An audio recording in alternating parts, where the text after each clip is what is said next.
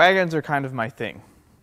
So it's no surprise that when a rare green E61 chassis 5 Series BMW comes up for sale with a $950 buy it now, clean title, mechanical loss, you know I'm buying it. Like I I got to have it. I already actually I already have one of these. So why do I want two? Well, actually I don't want to.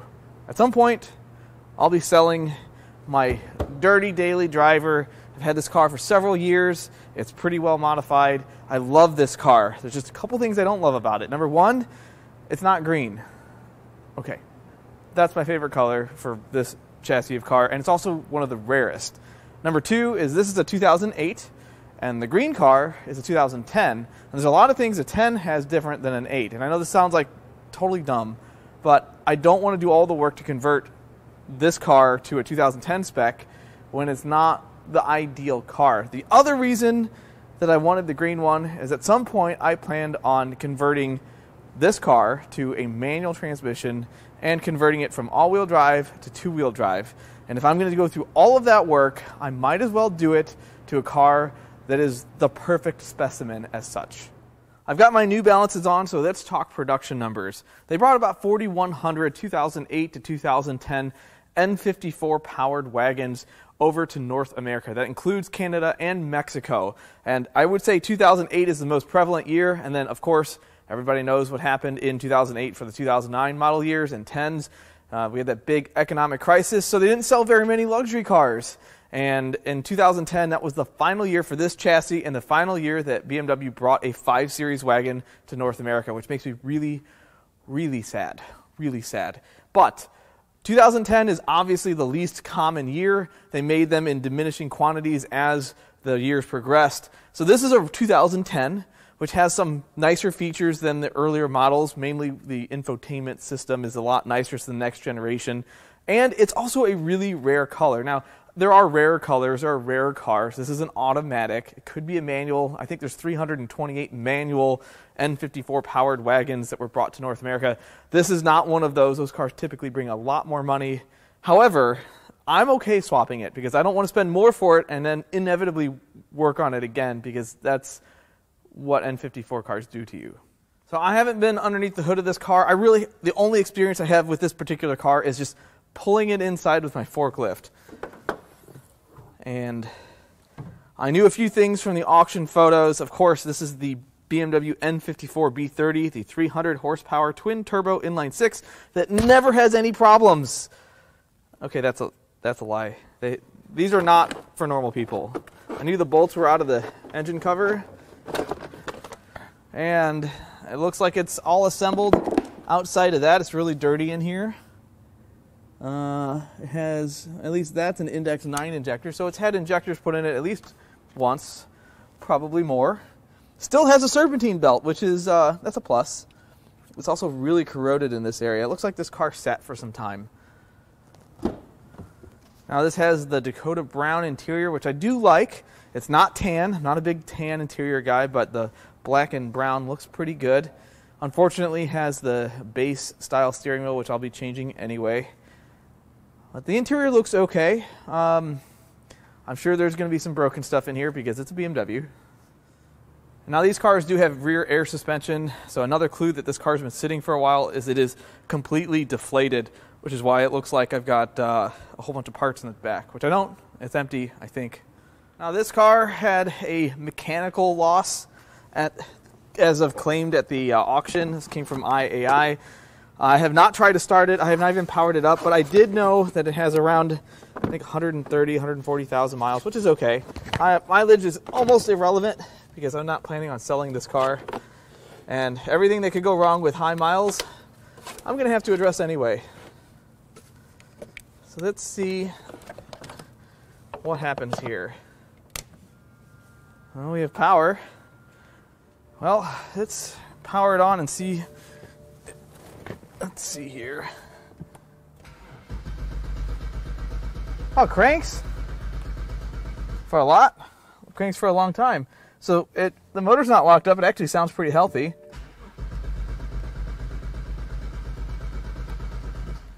Okay. Well, now we need to figure out why.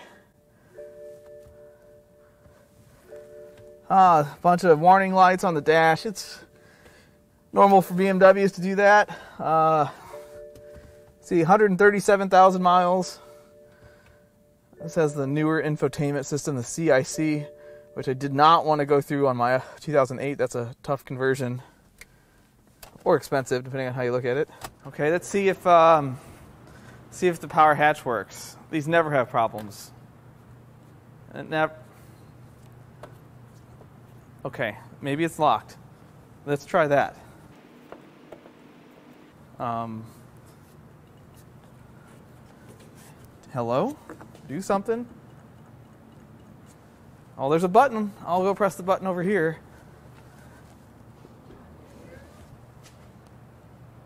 No, that's no.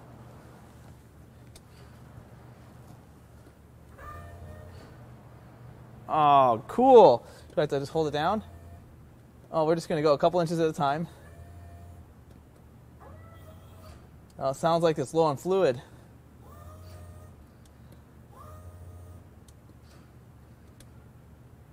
I think that's all the way up. Yeah. Okay. What do we have back here? Oh no. Ah. Well. Ah. What in tarnation is this? This looks like something somebody made with wood screw. Where was this screwed in? Oh God. What have I done here? It looks like this had a audio system. Not for you audio guys, I am not making fun of you.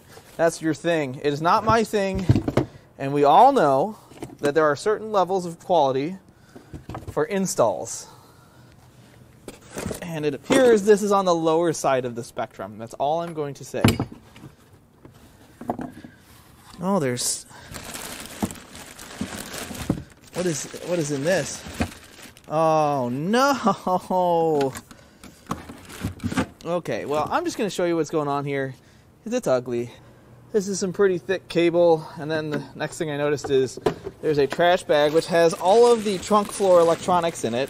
Now, these cars commonly fill this basin filled with water, and okay, this is all of the modules out here. So I don't know if this was a um, this could have been you know preventative or reactive. This is not. I, that is not. Let's just pull this whole thing out of here. There's got the power hatch module that's made of unobtainium. That's just gonna have to stay there. But then we've got some fused stuff, wires. This is all getting ripped out. Anything that's not original. And then this. Yeah. Don't like that? Nope. Got my scan tool here, and I'm just going to do a complete body scan. I actually have a game I play with my friends that work on cars, and we call it DTC High Score. So far, my S65 has won for me. I think it had 140 codes in it. Normal. Uh, a lot of low voltage codes, which is totally normal. This car could probably beat it. And this is going to take. Uh, take some time. We're just gonna let that hang out here. Got the car on a uh, battery charger, and we're just gonna let it do its thing. Well, it's not done yet. It's 25% done, and we got lots of red. Nothing is good so far, but that's also because the battery was dead. It's gonna be a lot of low voltage codes, probably a lot of old codes in here. I don't think. Oh man, there's just there's nothing okay. Let's see if something is okay. I would be happy if I got some parts of this car without codes. This thing is running every module in the car. I was taking a peek here, and that's a no-no. It's just an oil line. It's not like it's under pressure. So, if hopefully that's not the level of repair this car has seen. Well, as you can see, lots and lots of red. It looks like uh, very few things are good. It's fine. It's fine. This is totally normal. I don't think this has over 100 codes in it, or maybe it's close to it. But first, let's go into the DME, which is the engine control unit, and let's see what's in here. Read codes. I don't want to go erasing anything yet. Okay. Oh, there's a violation in here. Battery, low fuel pressure, misfires two and three, injection cylinder, misfire cylinder one, five.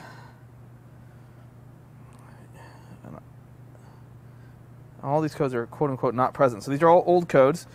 Um, power management closed circuit current violation. Something's angry. It's probably going to need a fuel pump or a fuel pressure sensor. Fuel pressure sensor. We're just going to delete all of this. Oh, cool. It needs a water pump. It's got a water pump code in it. So this just um, let's just delete this. Because we don't know what's current and what's not. So now we're going to read codes again now that it's not doing anything. Okay, no fault codes. Active tests. See if we can do some stuff here. Fuel pump. Activate. All right, low pressure pump kicked on. It does say I've got nine miles to empty. It just means it ain't got no gas in it. What else matters? Fuel pump control. Here we go. EKPS. Go to it. Do it. Do the things. Read codes. It had three faults in it. Voltage too low. Control current too high. So voltage too low is a present code. It's that's uh that's battery related. It only had two codes in it, so we're just gonna erase that. Okay, I'm gonna zoom out so we can see if this works. All right, now that I've cleared some codes, let's see if it uh, cranks and starts. I have my major doubts here. It does not. Let's see if it threw some more codes though. Read codes. No fault codes detected. Liar. All right, so let's look at some fuel pressure stuff. All right, now I've got rail pressure pulled up, so we're gonna crank it. See what rail pressure is while cranking. Not enough. 1200. Okay. Pretty sure it's supposed to be a lot higher than that. Here's a view of live data of the instrument cluster, and as you can see, tank sensor 1, 0 gallon, tank sensor 2, 0.36. So it is a good chance, or there is a good chance that this is actually, it ain't got no gas in it. Let's put some gas in it and see what happens. Okay, got two and a half gallons, three gallons in it. See if it starts.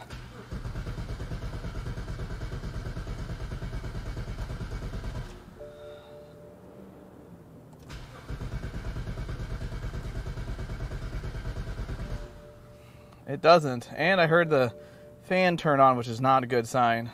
So here's the rail pressure. See what happens when we crank it. Oh! Oh! Oh! Oh! Do it! Well, it's doing stuff. The rail pressure is still way too low, but it is climbing.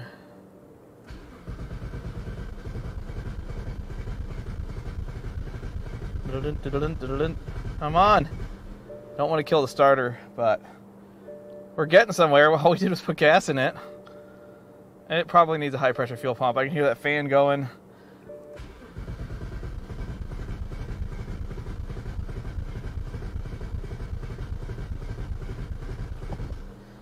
Yep. That number is too low. It's about half of where it's supposed to be. That's uh hectopascals and that's supposed to be somewhere around uh, higher than that. I don't know the exact spec, but I remember that being low compared to where my blue car is. Well, I don't know if you can hear that, but the cooling fan is on high, and if you couple that with the fact that the rail pressure is low, tells me that this probably needs a high pressure fuel pump. Now, where could I find? Oh, look, a high pressure fuel pump. I guess we're going to put this in and see what happens. The very first thing I'm going to do is remove the air box.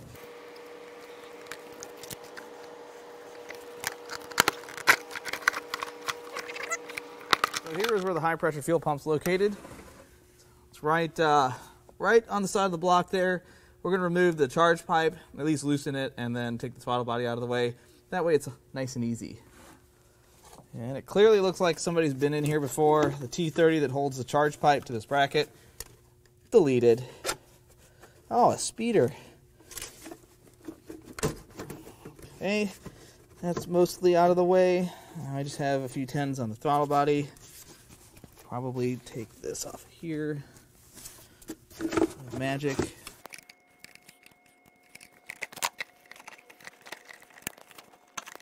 Oh, it's full of oil. That's okay.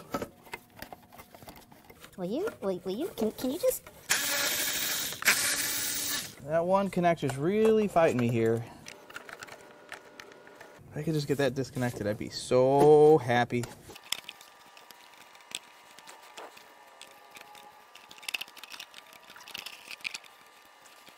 Oh, cool. It has a triple tested reman alternator. That's gonna not be used in the build.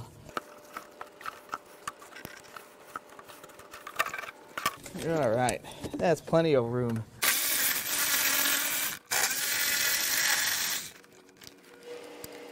Okay, all the bolts are out. Might as well just take the throttle body out. It's just got a couple connections here.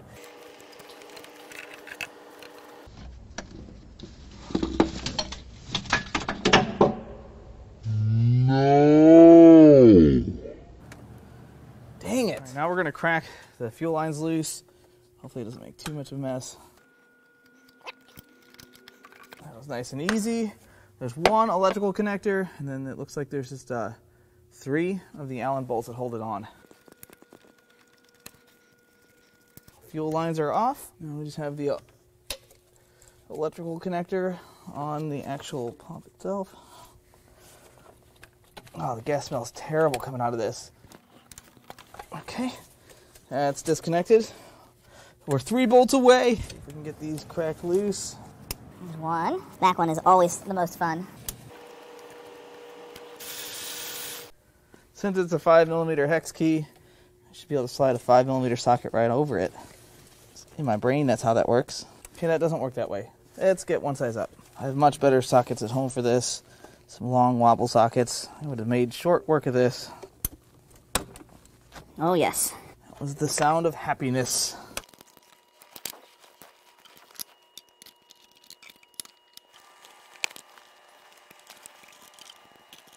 All right, one bolt left. That's it. It's already loose. Should be easy.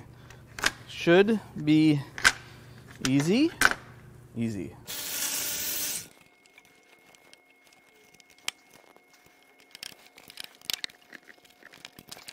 Pump removed.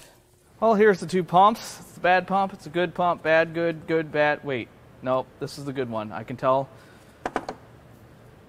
because that one's still full of fuel and that one's dry. Let's get the dry one in and make it. Wait, no, we're not going to say that. Feel how that is in there, and it is in there. Like a glove. All right, now we just gotta get some bolts in it. Let's get this one not snug, but run down a little.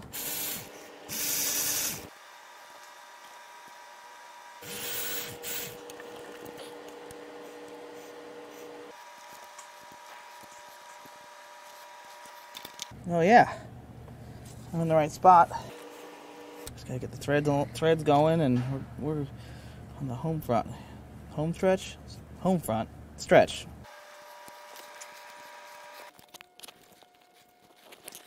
Now I need to plug some things in. There it is. One, two, three. I gotta put the throttle body back on. Put all the ducting back together. Well, we're back together for the most part. Got the charge piping back in, the airbox in. Nothing too crazy. This is not really how I would repair my own car because I saw a whole bunch of things wrong, like oil leaks when I was in there. But I'm just trying to get this car mobile so that it's not beached at my house. Just want it to drive on and off a trailer or from one driveway to the next. I guess we'll see if she runs now.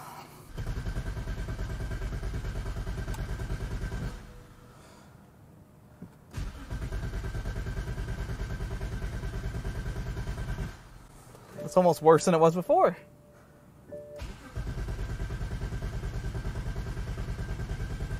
It's not a good sign. Did I just put another bad high pressure fuel pump on? It's possible.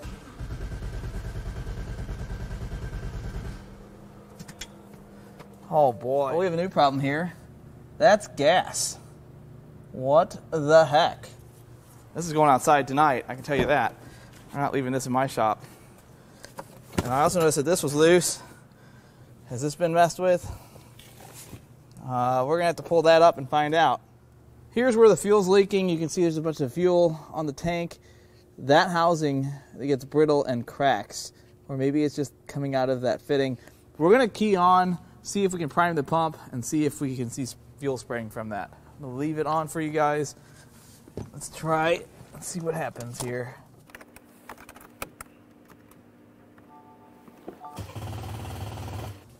See.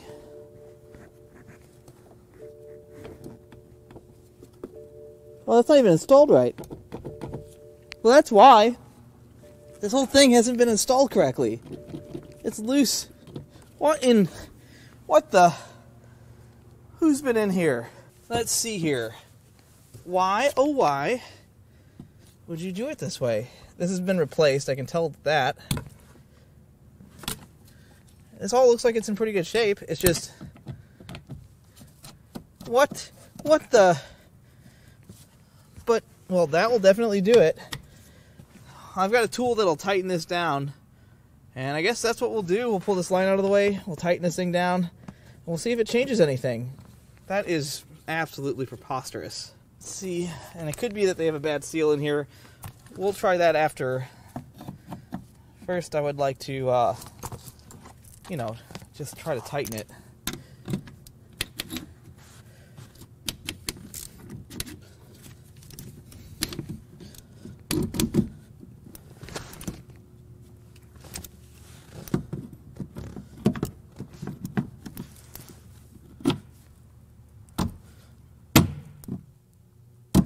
I think that's probably tight enough. It's not loose anymore. Let's see if uh, it does anything. I have my doubts that that will fix it, but that certainly wasn't good. All right, this is probably not going to do anything, but we're going to try it anyway.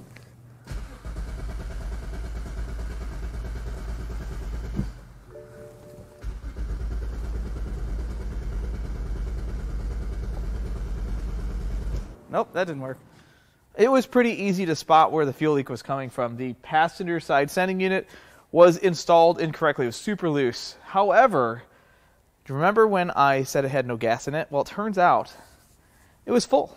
And I put enough to fill it all the way up, which is why the fuel leak started in the first place.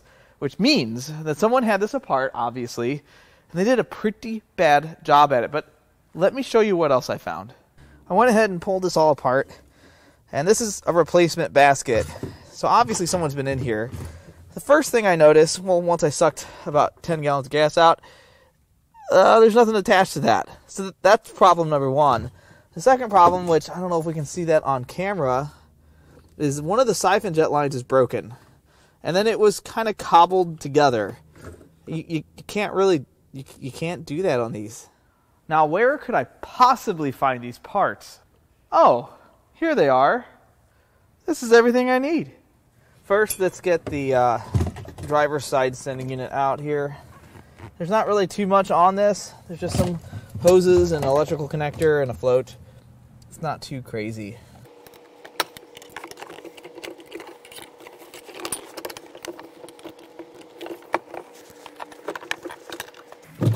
Hey, come back here.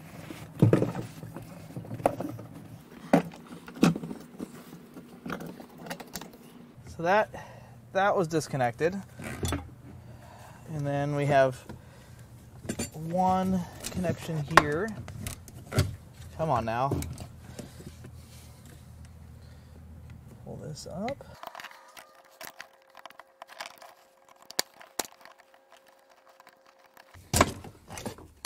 Okay.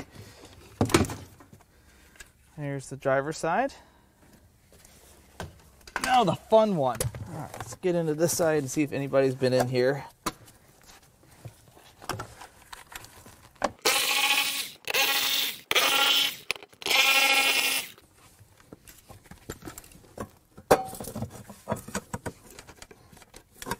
Uh, what? Why is the O-ring here? It doesn't go in that order. You, the this can't seal if it's not who worked on this thing? I'm all for DIY, but God, I hope this wasn't a paid job.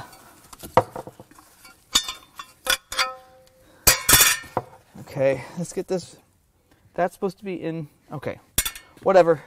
We'll get it fixed. Let the seatbelts hold that. Perfect. Lock ring off. Oh, that wasn't tight. Gee, I wonder why.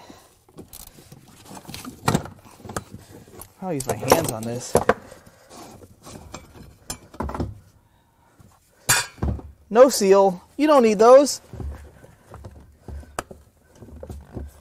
Alright, now this is kind of tricky to get this out. I've done this before. And this, this part is not that great. I don't know how bad it is to go back in, but... There we are. That wasn't too bad. Okay, now can we get the lines out? Oh, we're leaking. We're leaking a lot. Oh gosh. It's a good thing that there's no nothing's lit around here. Alright, we're just gonna kick that out of the car. So here are the two fuel systems side by side. The bottom one is from my 2010 535 parts car, which I pulled these parts from. It's on my lot. And these appear to be original parts. They're in pretty good shape. You can see these both have the hump to go over the drive shaft inside the tank. And then that's the sending unit, which sends fuel to the front. Now, this is the one from the car that we just pulled out. Now, these are aftermarket replacement units, which there's nothing wrong with at all. However, um, it's a lot of money to spend to have somebody do this. What were you thinking? So this is what it's supposed to look like. Wait, no, it's this one. That's the one that's broken and missing. If that isn't there, it, it, it doesn't run. And guess what? The car doesn't run. So someone put some new parts in here, and then I don't understand the thought process. However, we're going to get this fixed. We're going to put all these used parts in. I understand using some of these used seals and stuff is not ideal, and I may revisit this later. I'm just trying to get the car running. Now, this might be a little on the tricky side because I got to get this over the hump inside the tank. I'm not sure how that's going to work. I have to do that without breaking this either. Oh, this is going to be fun. Yep. Yep. Mike was right. This is to be fun. Why, are, why do you still have fuel in you? I, I drained you like four times. Oh my god, so much fuel. That's good for it. I'll clean that up in a minute. Come on. Oh, we almost had it.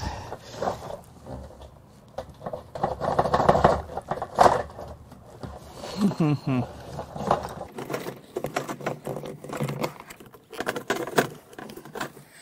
This is not working. Let's try this again. This time, I'm going to do the exact same thing.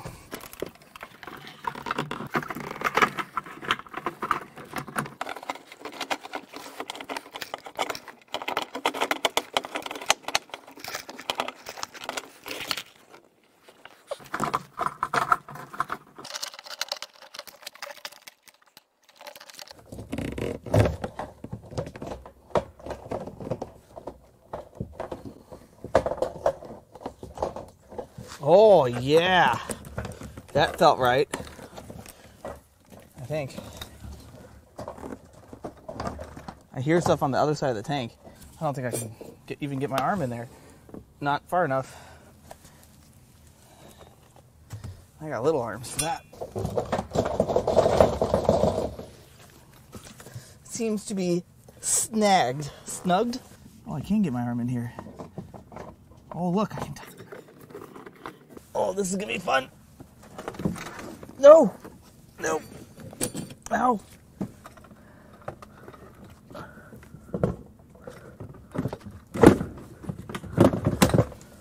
Great success. That wasn't too bad.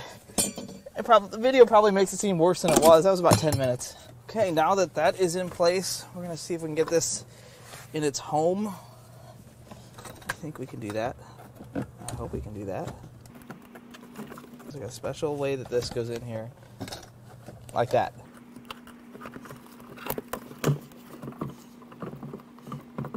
Alright, we're gonna leave that sit like so. We're gonna mess with this over here, make sure that these are pulled through. Everything made it okay. Let's see if I can shed some light on this situation. Oh. Oh. Just like so. But guess what? This time we're going to put a seal in it because I'm about that marine life.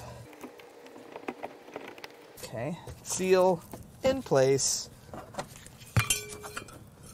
Get out of there, connector.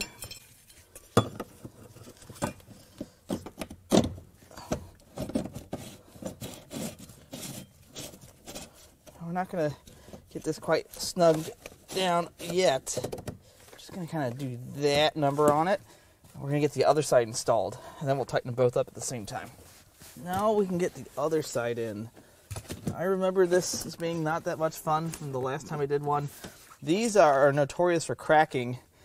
They uh, split right here and spray fuel, cause a fuel leak and an evap leak. Connection made. Connection made. Electrical, all done. Not really.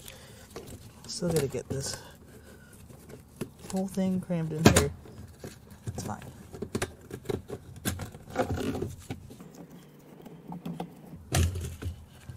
Would you look at it?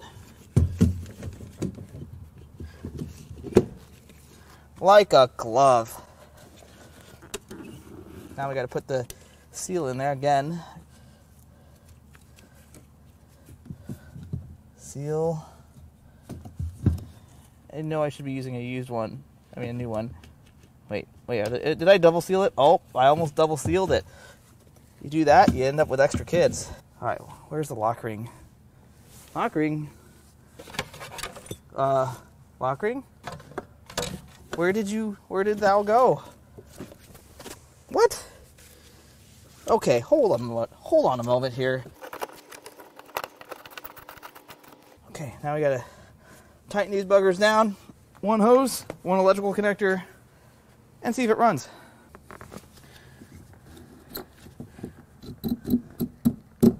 That's good enough.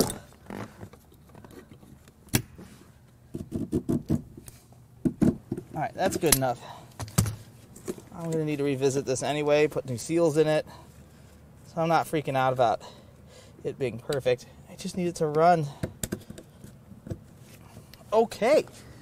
So if my calculations are correct, this thing should fire right up. Okay, here goes something. I don't even know if the battery's strong enough to start it, but we shall see.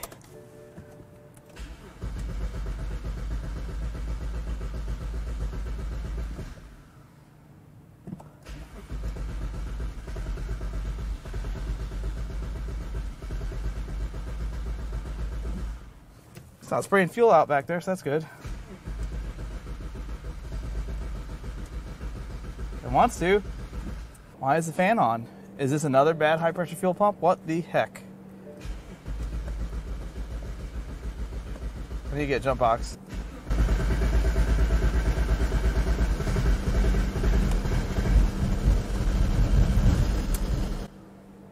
Well, it's improvement.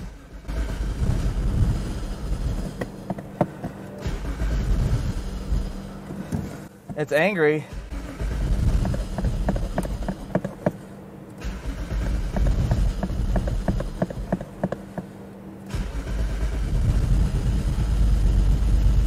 It's alive! It barely. It's so angry. Stay alive!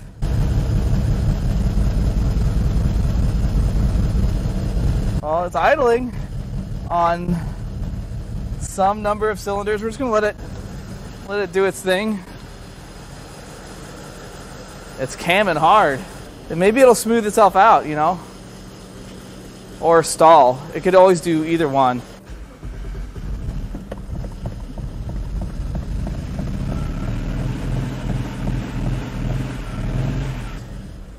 Alright, let's just turn it off. Let's get the scan tool. Try to figure out what's going on here. Alright, sorry about the glare, guys, but I did get it running, and it runs really rough, like it's running on four cylinders, because it's throwing misfire codes for cylinders one and two. The good news about this is those are the front two, so this is the easiest to get to. So the next thing I'm going to do, instead of throwing parts at it, we're going to swap the coils between one and two, and three and four. We're going to see if we get the same result or a different result. These are pretty simple. Okay. Well, that coil's been replaced. It's a cheapo aftermarket.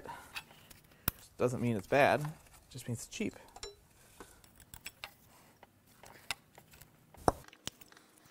Yep. All right, so we're going to put that one in cylinder one, three to one, and four to two. Cans are all seated. Let's delete the codes. Erase. Yes. Okay. Let's start it up again.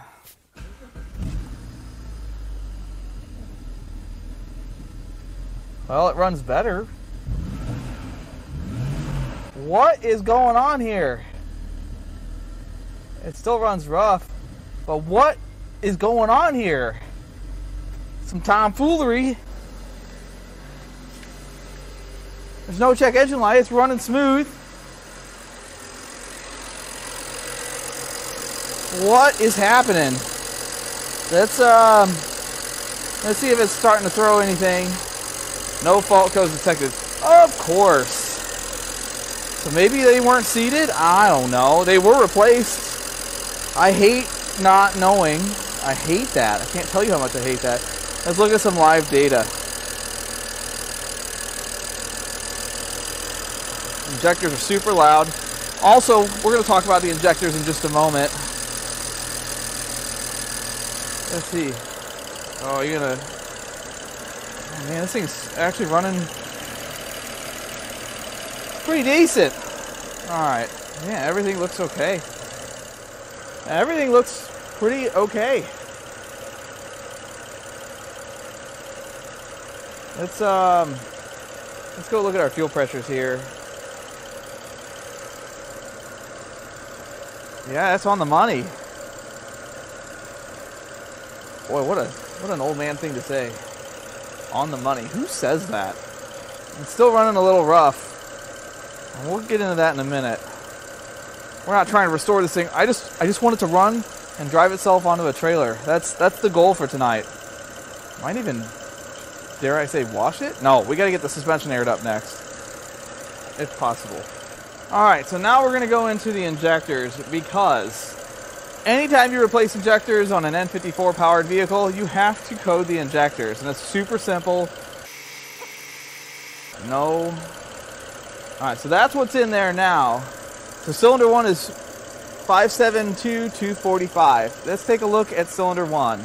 Well, that is not the numbers that I just said. So I'm going to go ahead and recode all of these injectors and see if it runs any better. All right, now that the injectors are coded, let's see how it starts.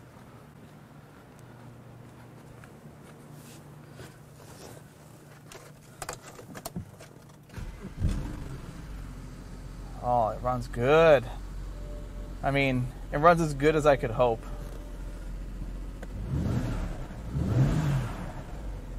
It makes turbo noises. It has a bunch of warning lights. Replace brake pads, low fuel, 4x4. Let's see, do we have reverse? Oh, yeah. Oh, it vibrates really badly. It's like it's got a bad motor mount. Park distance control, tire pressure. What else is wrong? What else is do?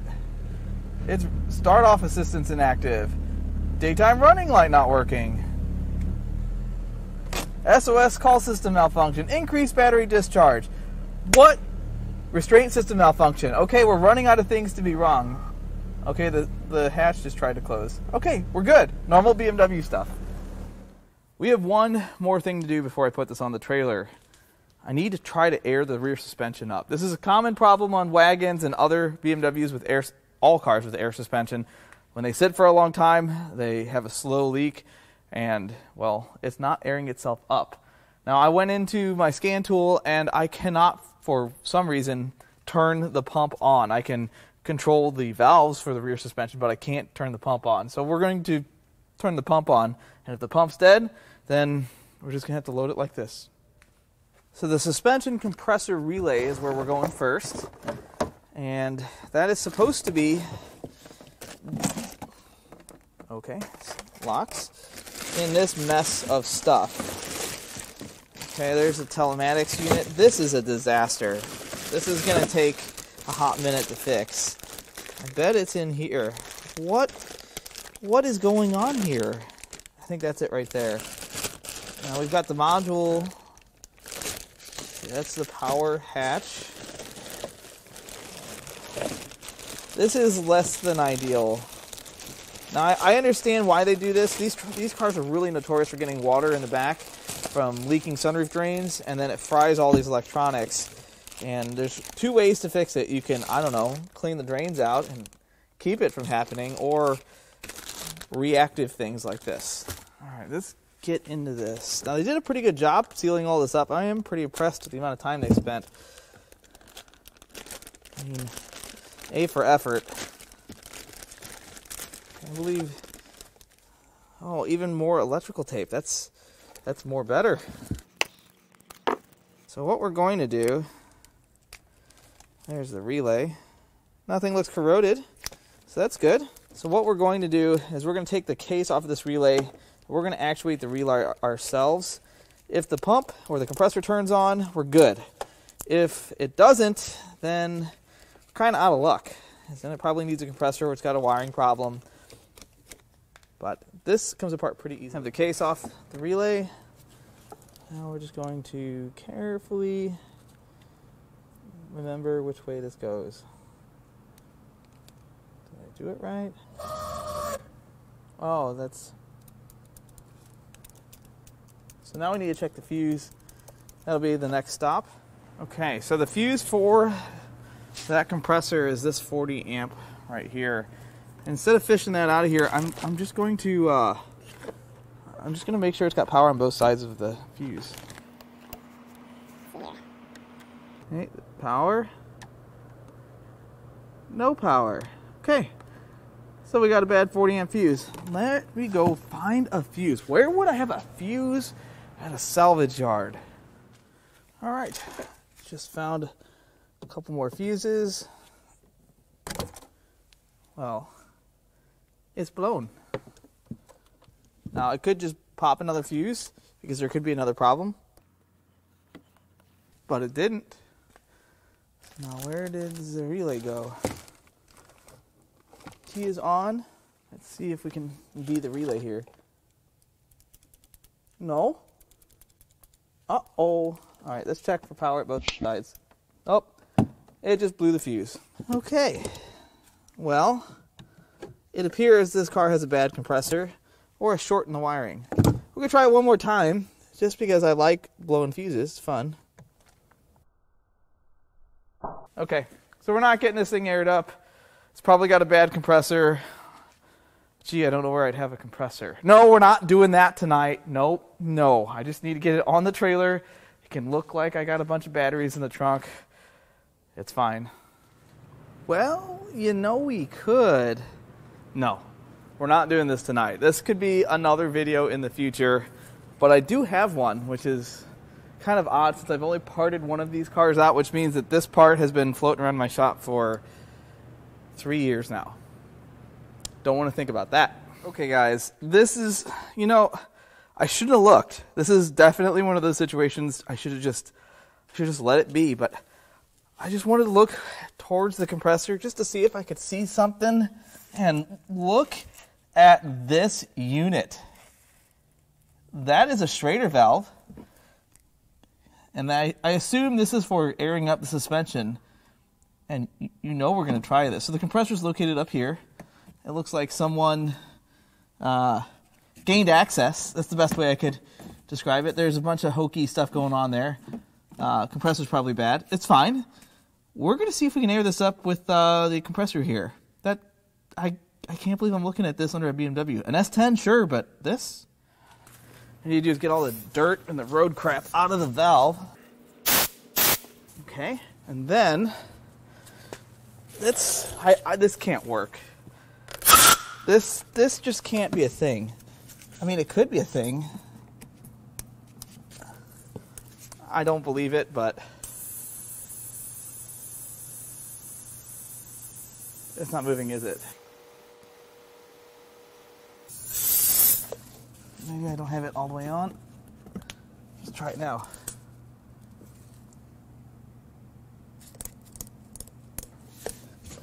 Oh, it doesn't work? You mean this this doesn't work? Are you kidding? Color me surprised. But boy, that would have been pretty cool if it did. Yeah, nothing's happening. Should I look into it further? Should I? Anything else? Any other kind of malarkey going on under here? Let me see if this valve is good. I can't believe I'm trying to fix this. Let's try this one more time.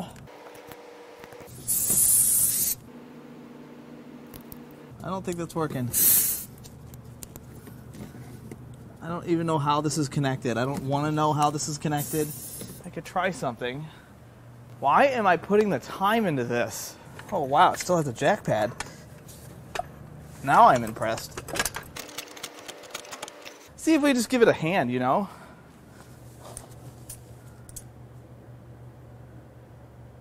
No. No. I mean, I like where their head's at. It's just not. It doesn't work. Oh well. It was worth the endeavor. It's going to be a bumpy ride. Wait, no, I'm trailering it. Now I'm going to give it a quick bath. Can't drag home another BMW that's dirty. My neighbors, what will they think if I bring home a dirty BMW? But another random clean BMW, no problem. So I'm going to give it a quick power wash. I'm not really going to wash it. Just going to knock all the dirt off of it, take the stickers and the writing off of it, and then load it on the trailer. I think that was a success.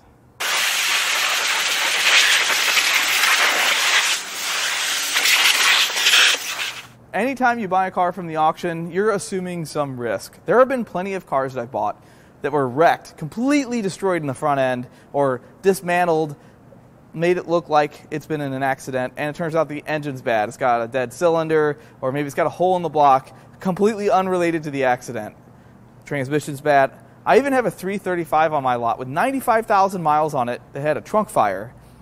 Also has a hole in the piston from someone breaking a spark plug when they did a spark plug change. Smells like insurance fraud. That stuff happens. That's what the auction is. Now, there's plenty of good deals. I've gotten lots of them. And as long as you win more than you lose, I think you're doing okay. Now, this car was a risk also, but it was a calculated one. I'm $1,700 all in on this car. I know you guys like it when I tell you guys what I've got in something. 1700 bucks includes transport, fees, everything that I have invested in this car up to this point. And it is not ready to drive. Not even not even close. But let's talk about the level of work that was done to this car. Now, I love DIY guys. I'm a DIY guy. I I love that stuff. But there are some things people know better, and I don't really like seeing some of the repairs on this car. I've seen it before. This is not really the type of car that you can get away with that kind of stuff. These cars are very terrible cars to own if you don't know how to work on cars. It's, I, I do not recommend these whatsoever unless you like them and you know how to wrench or at least have a friend that does. So I knew what I was getting into. I knew this car was going to be a whole bag of trouble. I, I just knew it. But I still still bought it because this is this is just what I do. I have some pretty big plans for this car. Unfortunately, it's going to be a long time before I can get to it. This car is going to sit next to my garage under a car cover probably until late spring, early summer. That's just the way that's just the way it is. I've got too many other cars that are a much higher priority than a duplicate to what I already own. Some of those plans include converting it to two-wheel drive and a manual transmission. They never offered them this way in North America, and I, I kind of wish they did. Now, this is nothing to do with how bad or good BMW's xDrive system is. It's pretty good. It's pretty reliable. Transfer case needs fluid change on a regular basis, and nobody ever does it. And they have shift selector motor. Anyway, they're pretty good. But if you've ever driven a BMW xDrive car and then its two-wheel drive counterpart, there is a definitive difference in the way the cars drive. The front suspension on an xDrive car is steel and they are notorious for rusting out, whereas a two-wheel drive car is aluminum. The front suspension geometry is different, and the two wheel drive cars just feel a lot more solid, a lot more nimble. These feel great. It has nothing to do with this feeling terrible. I just prefer the way the two wheel drive cars are. Plus, it'll be like 250, maybe 300 pounds lighter.